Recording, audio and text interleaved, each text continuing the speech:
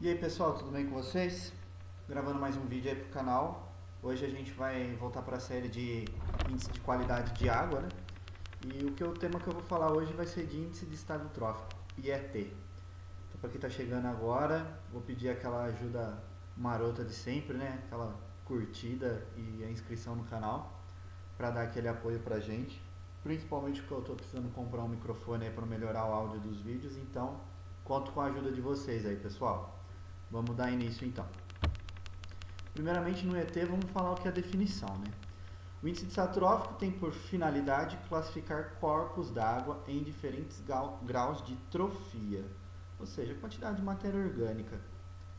Avalia a qualidade da água quanto ao enriquecimento por nutrientes e seu efeito relacionado ao crescimento excessivo das algas ou aumento da, da infestação de macrófitas aquáticas. Aqui no caso das algas a gente pode também considerar cianobactérias, tá? Bastante nutriente na água, é, ela tem um aumento expressivo e isso é problema, pode causar problema de saúde pública, né? Que vamos pensar no município que utiliza a água de um rio ou um reservatório para abastecer e está tendo muito enriquecimento aí de nutrientes e está tendo uma, um alto índice de trofia, está tendo um crescimento exacerbado aí de algas e cianobactérias, pode dar um boom aí com cianotoxinas na água e ser totalmente prejudicial. Porque a gente sabe que os tratamentos que são feitos normalmente aí para abastecer a, o tratamento que é feito normalmente para água de abastecimento da população, a gente sabe que ele é bem simples, né? Então, aqui é a classificação. O índice de satrófico IET ele é classificado em seis escalas, tá? De acordo com a sua faixa. Então nós temos do ultra oligotrófico até o hipereutrófico. Eu vou passar aqui a, um breve definição de cada um desses, desses índices.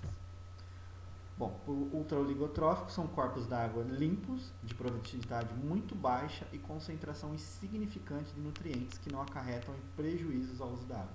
Então, vamos dizer assim que é um corpo d'água bem limpo, quase com a quantidade de matéria orgânica somente o necessário para o ciclo ecológico ali daquele corpo d'água. Nada em excesso. Zero. Oligotrófico. Corpos d'água limpos, de baixa produtividade, que não ocorrem interferências indesejáveis sobre os usos da água decorrente da presença de nutrientes. Ou seja, já existe uma presença de nutrientes, mas também insignificante. Mesotrófico, corpos d'água com produtividade intermediária, possíveis implicações sobre a qualidade da água, mas em níveis aceitáveis na maioria do caso. Aí o nível aceitável vai depender da finalidade que o corpo d'água está sendo utilizado. Se é para potabilidade, se é para banhabilidade, irrigação, aí depende o uso, né? Isso tem que ser avaliado. Eutrófico corpos d'água com alta produtividade em relação às condições naturais, com redução da transparência, em geral afetados por atividades antrópicas. Cabe destacar aqui então as atividades antrópicas, né? tem peso. Todas as nossas atividades aí, elas pesam muito nos corpos d'água. Importante destacar isso.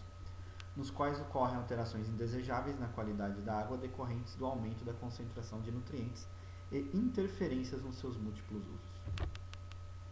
Super corpos d'água com alta produtividade em relação às condições naturais de baixa transparência, em geral afetados por atividades antrópicas, nos quais ocorrem com frequência alterações indesejáveis na qualidade da água, como a ocorrência de episódios de florações de algas e interferências nos seus múltiplos usos. E aqui o, maior, o estado mais o estado mais trófico, né, vamos dizer, a classificação mais pesada, corpos d'água, que é o hiperotrófico, né, corpos d'água afetados significativamente pelas elevadas concentrações de matéria orgânica e nutrientes, com comprometimento acentuado nos seus usos, associado aos episódios de florações de algas ou mortandade de peixes com consequências indesejáveis para os seus múltiplos, usos, múltiplos usos, inclusive sobre as atividades pecuárias nas regiões ribeirinhas. É legal destacar essa parte aqui que nesse caso aqui não tem o que você fazer, ele afeta qualquer uso, não tem o que fazer. Tá? É o pior estado que a gente pode imaginar. Então, como que se calcula? Para você calcular o índice de estado trófico, você calcula ele com duas variáveis. Você tem o IET da clorofila e o IET do fósforo. Clorofila aqui por Cl e IET como PT. É importante destacar que corpo hídrico, se ele é um rio ou se ele é um reservatório, tá?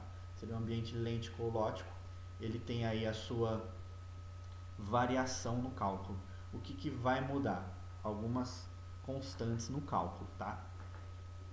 Porém, é, isso implica diretamente no, na classificação. Então, não dá para tratar um reservatório da mesma forma que um rio. Então, isso é bem claro nesse índice. Aí você está olhando, pô, tem log de clorofila, log de fósforo, será que isso é muito difícil calcular? Como é que eu vou calcular aí? Aí está a jogada. Montei uma tabelinha para você utilizar, né? Lógico. Cabe aqui dizer, então, que eu vou deixar o link para você fazer o download dessa tabela. Aqui é só uma imagem colada aí no PowerPoint para você estar tá, é, vendo como que eu distribuí essa tabela. O que, que você vai analisar? Aquele parâmetro que você quer calcular o índice de estado trófico. Você pode utilizar por ambos ou por um ou pelo outro.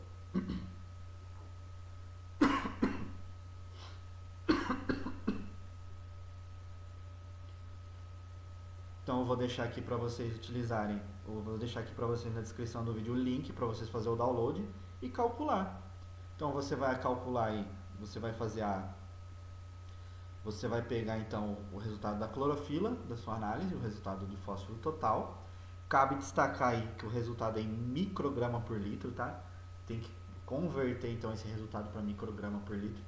Se você estiver mandando fazer no laboratório ou o seu método estiver em miligrama por litro, ppm, você tem que converter esse resultado para ppb, micrograma por litro, e colocar na tabela.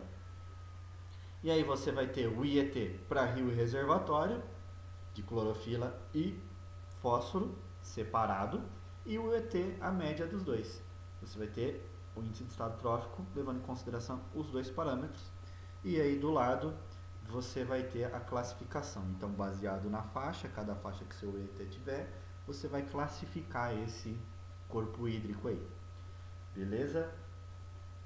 A esse ponderação que está aí do lado, eu vou fazer só um adendo. Você pode ver que na tabelinha tem um item chamado ponderação, porque essa tabela é a mesma que você vai utilizar para calcular IVA. Tá? Então, a mesma, o índice de estado trófico ele está dentro do cálculo de IVA. Quer saber mais sobre o IVA? Vou deixar os links aí, tem os outros vídeos, você assiste lá. Beleza, galera? Então é isso que eu queria trazer para vocês hoje. É, índice de estado trófico. Esse é o índice da vez. Deixa seu like, inscreve no canal, compartilha pra galera. Feito, pessoal. Um abraço, até mais.